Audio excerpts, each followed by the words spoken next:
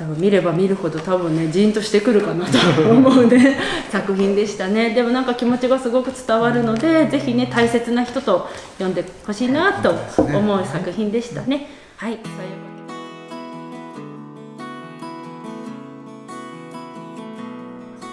こんにちは。よっぴーです。サンキュー先生です。今日もリビング書店の絵本チャンネルご覧いただきありがとうございます。今日はいつも一緒にを紹介します。はいこちらの絵本はですね大切な人とね一緒にぜひ読んでほしい一冊だなと思いました。はい。ここにね描かれているくまさんとうさぎさん。実は2人しか登場人物いないんですがこの2人 ,2 人の心の何ていうか相手を思いやる気持ちというんですかね。そういうのがすごくねあの伝わってくる絵本になってるかなと思いました。はいえっと、大切な人にって言いましたけど、えっと、誕生日を迎え迎えるお子さんとか結婚するねあのお友達なんかにもプレゼントするとすごく喜ばれるかなって思う一冊でしたよ。はい、ということで紹介していきたいと思います。はい、はい、横が24センチ。で縦が23センチですね。はい、はい、このクマさんがですね。最初はずっとこう一人ぼっちなんですね。このクマさん一人で暮らしていて一人ぼっちなんですがある日うさぎさんがトントントンってこう訪ねてきたんですね。で、えっと、寒そうに立っていたから中に入れてあげて温かいスープをさし出してあげたんですね。そこからこのうさぎさんと一緒に2人暮らしを始めることになりました。で、えっと、おふ寝る時も一緒ご飯食べる時も一緒遊ぶ時も一緒どこかにねお散歩に行く時も一緒ってずっと一緒なんですね。で、えっと、ご飯を作ったりとか、えっと、お掃除してあげたりというのはくまさんがやってあげてお世話をしてあげているんですね。でうさぎさんはちょっとねあの美味しいって聞いてもニコニコっとするだけでちょっと返事がないんですね。でちゃんとニコニコっとしてこう気持ちを伝えてるんだけどクマさんにするとなんで何も言ってくれないんだろうってね。ある日こうちょっとこう悶々と思っちゃったんですね。でだんだんだんだん寝れなくなるぐらいうさぎさんは僕のことどう思ってるんだろう？ってなんで何も言ってくれないんだろう？ってもんもんもんもんもんもんって思っちゃうんですね。である日なんで何も言ってくれないの？って大きな声で言っちゃったんですね。でうさぎさんはびっくりしてドキってなったんでしょうね。涙がわーっとか溢れて泣いてしまいました。でその夜です。一緒に寝たんだけど朝になったらそのうさぎさんがいなかったんですね。でうさぎさんがいなくなって初めてなんかなんてこと言っちゃったんだろうって気づくんですがそこがねあのくまさんがご飯食べながら気づくんですね。こう今まではずっと一緒にいたのにっていうのをうさぎさんがいなくなって初めて気がついて。いるだけで幸せ、そうですね。僕はうさぎさんがいただけで幸せだったのにそんな言葉なんて必要なかったのになんでそんなこと言っちゃったんだっていっぱいいっぱいこれくまさんも泣いちゃったんですね。でこうなって泣いていて目がパッと覚めました。そしたら横にはうさぎさんがいたんですね。であこれは夢だったんだっていうことに気づいてでうさぎさんをぎゅっと抱きしめました。ボロボロと熱い涙が、ね、こぼれました。おしまい。でまた2人が、えっと、一緒にドーナツニコニコっとしながらドーナツ食べている絵でおしまい。あこちらですね。になっています、はい、このねうさぎさんになんで何も言ってくれないのっていうところからが夢だったんですね。であのももと思っちゃったところから眠りに入ってパッと気づいた時にはあパッと目が覚めた時には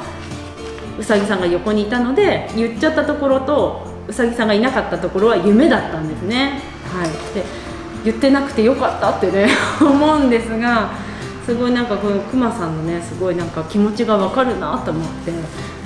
なんか母親としても思うしなんか誰かとお付き合いしてるんだったら相手のことを思ってもやっぱりこういう風な気持ちって誰でもなんか持つ気持ちなのかなと思ってでそこでやっぱり口に出しちゃうこともあるんですがやっぱ言わなくてもそばにいるだけでそれだけがすごくその2人にとっての宝物っていうかなんだなっていうのがすごく伝わるなとも思いましたね。ねね家族の大事なポイントついてるというか。そうですね。しみる、はい。しみるというか結構グッと。そうですね。つい聞いちゃいますよね。聞いちゃうんですよね。でもなんか子供を育ててる時やっぱりしょっちゅう思いますね。主人に対しても思うし子供に対してもこんなにたくさんいろんなことしてあげるのしてあげてるのにちゃんと感謝してる？っていう感じで思っちゃうことあってお母さんにはぐさって刺さるなとか思ったけどやっぱりいろんな立場で考えても同じかなと思ってついねこう相手のその言葉を欲しがるけれども、まあ、そうやって一緒にいることがすごく大切なことなんだなって思いましたね。はい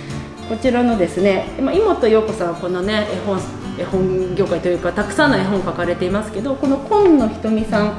作,、えっと、作者の、はい、今野ひとみさんもですねあのちょっと体の弱いお子さん息子さんがいらっしゃってその方あの息子さんに子守を子守歌を歌ってたところからシンガーソングライターになられたそうで、はい、なんかいろんな心がこもってるなっていうのがねなんか伝わってきたなと思いましたね。よかったなってでまあねうさぎさんもちょっとニコニコってしてるんだけど言葉にししてないなんでかなってちょっと思ったりもしたんですがそういうことじゃない。そのそこ伝えたいわけじゃないなと思って ななんでニコニコしてるだけなのとかって最初ちょっと思ったけどそうじゃないと思ってちょっと。ねあの、うん。展開もなかなかいいよよかったそうですね。うー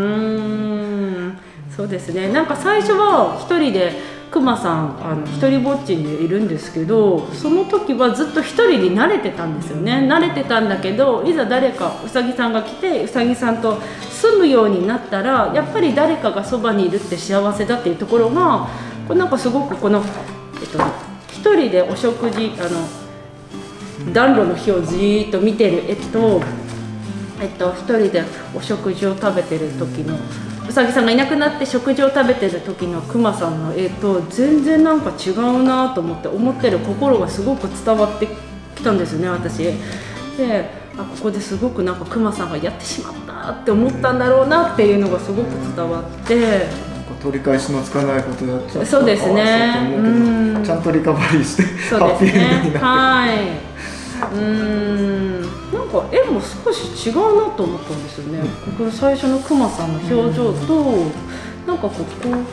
うなんかこう目が違ってくるというか、うさぎさんといる時の目が違うんですよ全然ねね。でそこもねなんかこうやっぱり誰かがそばにいるっていうところでまた表情が変わったんだろうなと思って、うん。見れば見るほど多分ねじんとしてくるかなと思うね 作品でしたね。でもなんか気持ちがすごく伝わるのでぜひね大切な人と読んでほしいなと思う作品でしたね。はい。ということで今日はいつも一緒にを紹介しました。最後まで見ていただいてありがとうございます。またお会いしましょう。さよなら